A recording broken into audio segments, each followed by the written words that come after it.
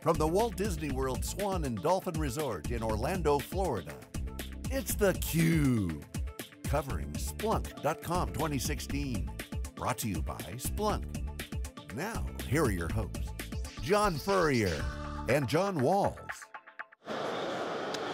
And welcome back to .conf 2016 here on theCUBE along with John Furrier. I'm John Walls, continuing our coverage here, live streaming here throughout the day. Uh, talking to a lot of a lot of partners here from in the Splunk community, also with a lot of customers.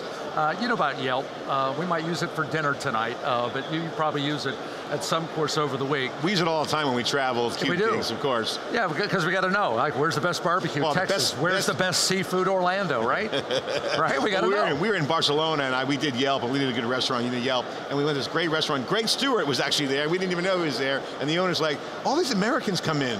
I, for some reason we get all these Americans. We're yelping, we're yelping maniacs. Did they have a uh, sticker? from from uh, Yelp reservations, uh, two gentlemen with us, Kris Wehner, VP of Engineering, and uh, also Charles Guenther, Senior Software Engineer. Thanks for joining us, guys. Thank you, thanks for um, having us. For, let's just talk about reservations first. Um, you know, used to be SeatMe, moved on to reservations now.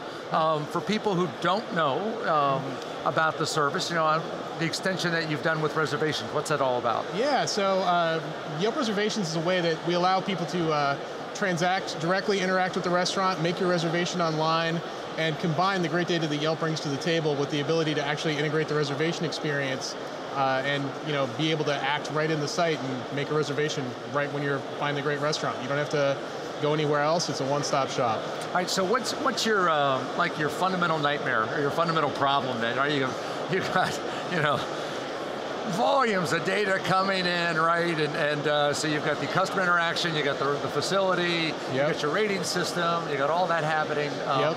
What's your like your like gnashing, teeth gnashing uh, like? I mean, the, the, the teeth gnashing problem I think is more of a teeth gnashing problem for all of Yelp and probably extensively across the industry, right? It's about the fact that we have a ton of microservices and a lot of legacy code, and together those things generate tons of data, and we need to be able to see you know, for us, uh, especially on the reservation side, the customer experience of being able to track through the life cycle of the customer's interaction with us, that those customers are getting an optimal experience, that you know, we know when we're having errors, we can act on them quickly, and then take that data back full life cycle and be able to do analysis on it, and bring the learnings that we've got from the live customer interactions back to improve the experience, right? But we generate so much data that that's a real challenge for us. So let's talk about the Splunk uh, problem, get that on the table, and kind of talk about architecture at the same time. So sure. the, the problem that you guys solved was you had to create a whole new system within the Yelp experience, which is kind of like, I won't say, maybe it's maybe the wrong word, off domain or different different app, mm -hmm. which makes a lot of companies go through that problem. But you mentioned microservices, right? So I can imagine you have a lot of microservices within each application. Yep. How do you orchestrate that? Are you guys using Docker containers? Where does Splunk fit in? Lay out the architecture of how this all fits in. Sure, so uh, Yelp is largely uh, run off of a, a, platform as a service um, product that we've built called PaaSTA. Uh, and it's actually built on top of um, Apache Mesos, and we use Marathon as the framework to run those, run those containers on top of it. And the large majority of those, micro, those microservices are actually running on top of this PaaSTA platform. And really what that's about is in developer empowerment we don't want them having to reach out to like the site reliability team or the operations team to say, I want to deploy this new code. We want to enable them to just check in some configuration, check in their code, and basically just let go.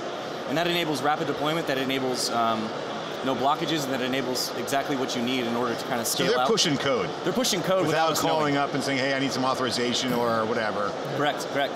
And I think one of the unique things that we've done at Yelp is that we're actually using this same concept with uh, Splunk. We're actually scaling out a lot of our fleet using the same concepts. And I think that's something that's unique or maybe something that we're doing uh, that a lot of people haven't tried out yet. Um, we'll actually be talking about that here at SplunkConf. What's uh, the marathon thing? Can you explain what marathon is? That orchestration? I think you're probably a better yeah yeah is that better orchestration of piece of it. Yeah, it, it, I mean it is orchestration is one way to think about it. I think about it really as um, init for the data center. It's the thing that knows this is, these are the containers that compose my service. These are how they need to be run. These are how they need to be restarted. This is the current running version. How many of them are there? What are its needs in terms of resources? And then make sure that my fleet of services stay healthy, up, live, tracked, and exposed as an API for us to interact at a very simple high level to be able to deploy them, start them, stop them, scale them up, etc. So that's the reliability layer for the developer.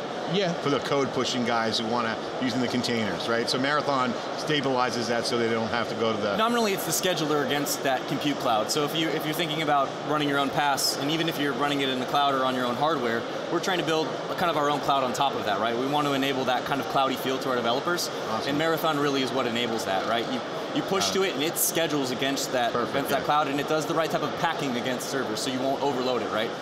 So this is nice comfort for the developer. Okay, talk about where Splunk fits in. So how are you splunking the data?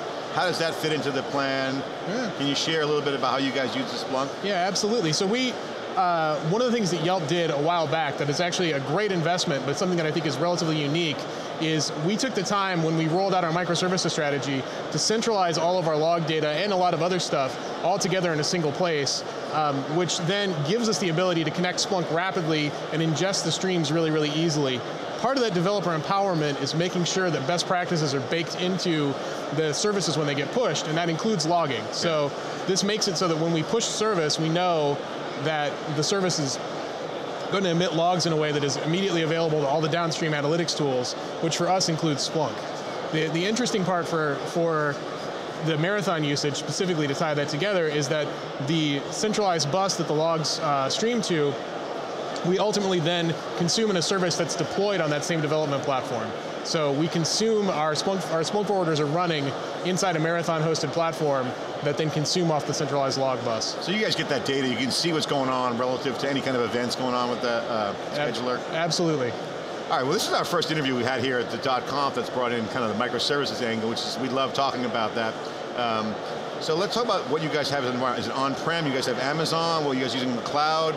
We're, How are uh, you guys uh, handling your uh, your backbone and your your infrastructure? Absolutely. So we're a hybrid solution. So we actually have uh, physical facilities, and we also are very heavily invested in cloud. We're an AWS uh, partner. We use AWS extensively. So a lot, a lot of our services at this point are pushing more and more heavily cloud-based. Are you moving workloads on-prem to the cloud? Uh, yeah, Flex. What we're trying to do actually is develop it so that the cloud and the on-prem are peers to each other, and we can relatively smoothly move between the two of them.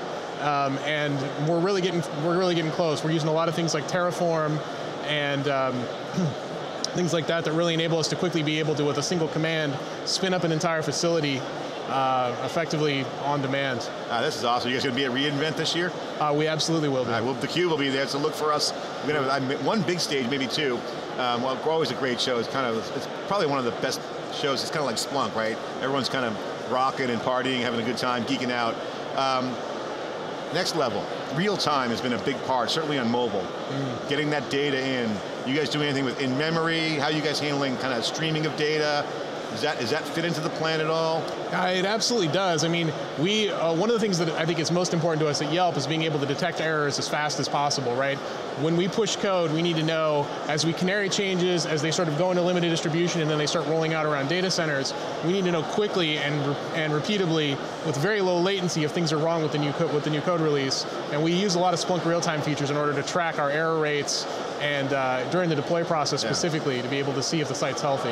You guys have been a great company to watch because it's been like born in two movements. Okay, you're you're pre DevOps, early DevOps, and now what I call post-mature DevOps, if, I, if you could call it that category. I think we're almost post-mature. I think pretty much everyone realizes cloud native uh, DevOps is the way to go, no doubt about that. What did you guys learn? What can you share with folks in terms of scar tissue, uh, tricks that you've learned, you've developed, because a lot of um, folks like Yelp, I'm sure you guys have done things on your own, built your own stuff, tripped on some stuff, hit some speed bumps, and scaled stuff. So as you scale, what are the big learnings? How would you, what would you share? Share uh, some insight. I think I think the biggest thing that I would say is everything has to be code, and that is all the way from the configuration into the actual data center deployments, centralized, get it code reviewed, get it checked in, automate everything. And you know, until you get to the point where like now we're getting due to the efforts of a lot of really smart folks inside the organization, where you can actually execute a single command and spin up an entire facility.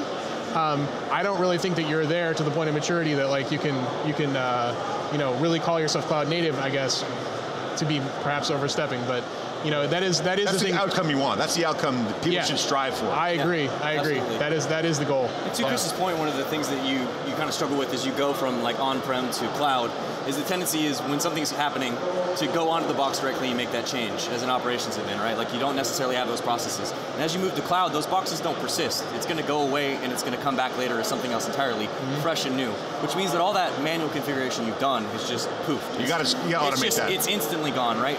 So unless you've checked all that stuff in and you have a repeatable process for doing the exact same thing, you're going to do yourself a disservice. And that's really what it, what it comes down to, DevOps, the practice. It's repeatability through code.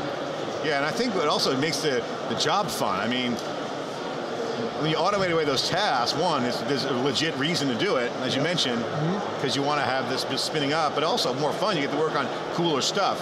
Um, what are some of the cool things that you guys have working on right now? Because, you know, scaling up at like Yelp service, you got a lot going on, right? You have a lot of data. Um, what are some of the cool things that you guys have done? Ah, I mean, I think probably the, the most the coolest thing? The coolest thing. ah, so I mean, the thing that we talk about a lot that I think is probably the coolest thing, which is more which is more intricate, is the way that we actually manage our iPad fleet. So Yelp Reservations is a product that is online. It is an online avail, uh, availability engine for you guys, consumers, but the majority of the product is actually restaurant facing. And uh, what we restaurants have very flaky networks. Um, and they need really high availability of their data. So what we had to do was make it so that our iPads can operate fully offline and then be able to resynchronize with our uh, with our facilities. And so what we've actually built is a multi-master replication protocol where the iPads actually act as replication peers to our facility uh, in the cloud. And so we end up uh, being able to have those iPads disconnect from the network, operate successfully, reconnect, merge their data changes, and both sides are seamlessly working So together. you, basically t- t- you take the uh, Achilles heel of offline Mm-hmm. and flip it around as an advantage. Yes, absolutely. On top of that, one of the coolest things about that iPad app is we actually build a binary database that we're able to lay directly down on the file system for iOS. So instead of like downloading JSON, parsing it, pushing Yep. it through, and kind of the performance that you Yep. have of working with a very like small CPU, we're actually just handing it a pre-baked database, downloading it direct to disk and saying run, which is I think is just That's tremendous. down and dirty, man. That's like old school when I went to college. down machine language, getting Yeah. away overhead issue, right? I mean, Correct. you don't want to have that overhead. Because again, because of the network issue, because you might have a if you got Yeah. if you got to download a 30 meg file and you've got your network flipping in and out, it's probably so you take that efficiency and what, what do you shift it to for the, for Oh, the we shifted into the cloud. We actually take we, uh, the workload of building that binary database is shifted into the cloud, and that ultimately is you know when you walk into the restaurant, this is about the customer's experience, right? Nobody cares about all this tech stuff with the iPads. What they want is to walk into the restaurant, smoothly go, "Welcome, sir. Let me show you to your table." They don't want to wait for an iPad to download the database. But I mean, you, you just hit on it, Kris, a little bit ago. You said restaurants have kind of flaky websites, right? Yep. But, so you're seeing all kinds of different levels of sophistication, Yep. as well as from consumers. I don't know how many millions you know you have. I mean, so what does that create for you in terms of making sure this works? You know, Ah. and then from a security standpoint, knowing that, that you got a lot of targets, a lot of a lot I'm of. sure you get uh, hacked all the time. Splunk, Yeah, you guys so must get what, what is uh, must I mean, what attacked. does that create for you? The kind Uh, of challenges you can face. I mean, the the the, ch- the challenge is the, the diversity of the consumer and the diversity of the restaurant sophistication really means that we have the thing has to be lights off stable, right? And it has to be it has to clearly tell the user what's going on, and we have to have a team on our side that we that we maintain a very detailed playbook for them to be able to you know correctly diagnose handle those user issues and just it's all about the customer's experience. Um, but it can't be you know we take we try and take the technology out of it as much as possible as it faces the restaurant and consumer um, to the security question we recently opened a public bug bounty we are a very secure security first organization i'm actually really proud of yelp security i think we do an excellent job Guys, final point before we wrap up. What's uh, what's your advice, just people that are evaluating Splunk? Why is Splunk integral to your business? Get the plug out for Splunk. Let's get that out there. I think the biggest thing that Splunk offers to you uh, is that it enables you to fail fast, and that's something that someone always says. You'll hear from a developer constantly. The successful developers, you hear them say it consistently: fail fast, fail often. But you're typically scared of your failure because you don't know where that failure is, right? Splunk really enables you to, in the middle of that fire, figure out exactly what's happening, roll it back, and make a make an informed decision. And once you have that confidence in your ability to see the failures, you're going to be confident in failing, in trying new things. Well, and you iterate faster. What's that? And you iterate faster. And you iterate much faster, and you become better faster, and you stay agile. And really, like that's, those are the three buzzwords you hear in the industry, Yeah. like agile, fail fast, fail often, right? And Splunk really enables three of those things. Be more agile, fail fast, get to the cloud. Guys, thanks so much, appreciate it. But I do not want to fail fast with my dinner choice tonight. so let's make sure we knock that one out of the Can I park. cut the okay? line on all the Yelp Maybe Splunk can help me with that too. All right, good deal. Absolutely. Back with more .conf 2016 in just a bit here on theCUBE. Excellent.